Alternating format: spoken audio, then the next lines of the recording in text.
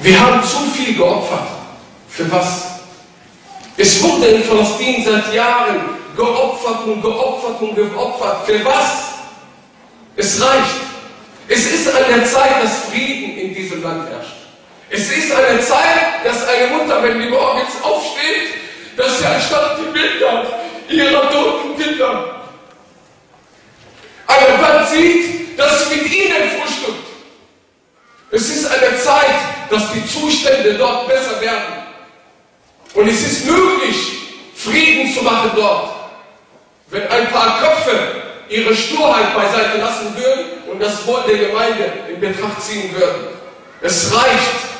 Es reicht das Blutvergießen.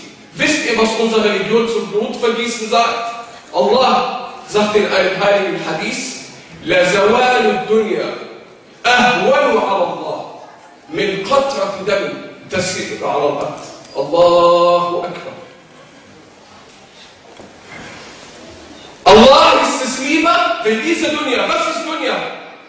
Diese Welt zunichte gehen würde, als dann ein Tropfen Blut von einem Menschen auf diese Erde tropft. La ilaha illallah. Hat das nicht gereicht? La ilaha illallah. Wir wollen das nicht.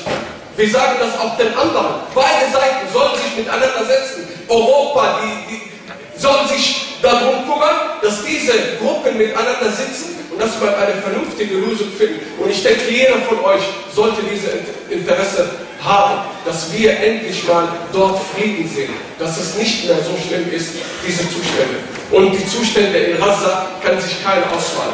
Ich war in Gaza vor ungefähr zehn Jahren. Ungefähr zehn Jahre. Und da waren schon die Zustände so schlimm. Heute, wenn ich die Bilder sehe, ich erkenne diese Stadt nicht mehr. So schlimm ist das da. Und die Menschen dort leben in Armut, in Subhanallah. Wie oft oder wie, wie stark muss ein Mensch sein, so eine Situation auszuhalten?